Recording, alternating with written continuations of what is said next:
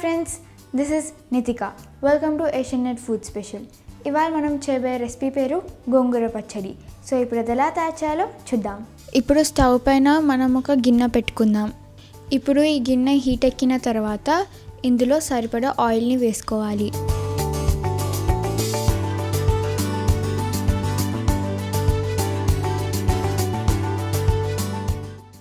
Oil heat ఎక్కిన తర్వాత గోంగూర క్వాంటిటీని బట్టి పచ్చిమిర్చిని వేసుకోవాలి.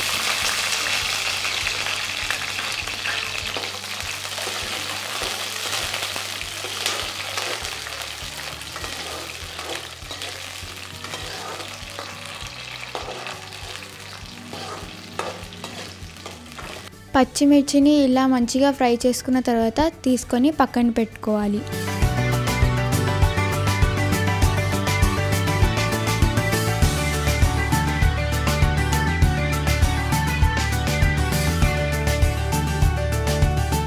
ఇప్పుడు ఇదే నూనెలో మంచిగా కడిగిన గోంగూరని నూనెలో వేసుకొని మంచిగా వేగించాలి.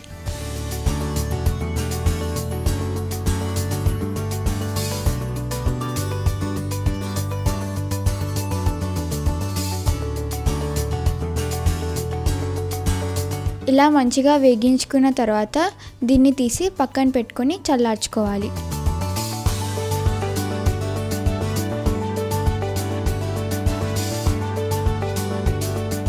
ఇప్పుడు మనం ఒక మిక్సీ జార్ తీసుకొని అందులో ఇందాక మనం ఫ్రై చేసుకొని పెట్టుకున్న పచ్చిమిర్చిని వేసుకోవాలి.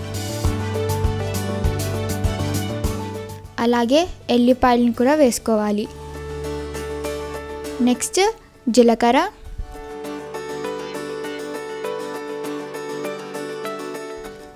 Next salt. నెక్స్ట్ ఇందాక మనం వేగించుకొని పెట్టుకున్న గోంగూరని వేసుకోవాలి. ఇప్పుడు దీన్ని మంచిగా మిక్సీ పట్టుకోవాలి. ఇలా మెత్తగా అన్నీ కలిసిపోయేలాగా మిక్సీ పట్టుకోవాలి. ఇప్పుడు స్టవ్ పైన గిన్నె పెట్టుకొని అది హీట్ ఎక్కిన తర్వాత అందులో కొంచెం ఆయిల్ని వేసుకోవాలి.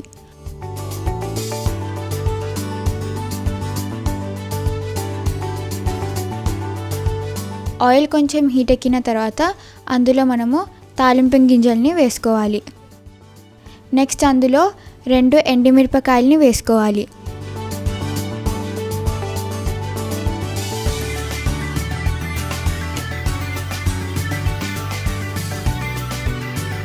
దీన్ని కొంచెం మిక్స్ చేసుకున్న తర్వాత ఇందాక మనం మిక్సీ పట్టుకున్న దాన్ని ఇందులో వేసుకొని మంచిగా మిక్స్ చేసుకోవాలి. సో ఇప్పుడు మన టేస్టీ టేస్టీ గోంగూర పచ్చడి రెడీ మనం దీన్ని ఇప్పుడు సర్వింగ్ బౌల్లోకి తీసేసుకుందాం. సో ఇప్పుడు మనం ఈ టేస్టీ టేస్టీ గోంగూర పచ్చడికి ఒక సన్నగా తరుముకున్న ఉల్లిగడ్డను వేసుకుంటే చాలా టేస్టీగా ఉంటుంది.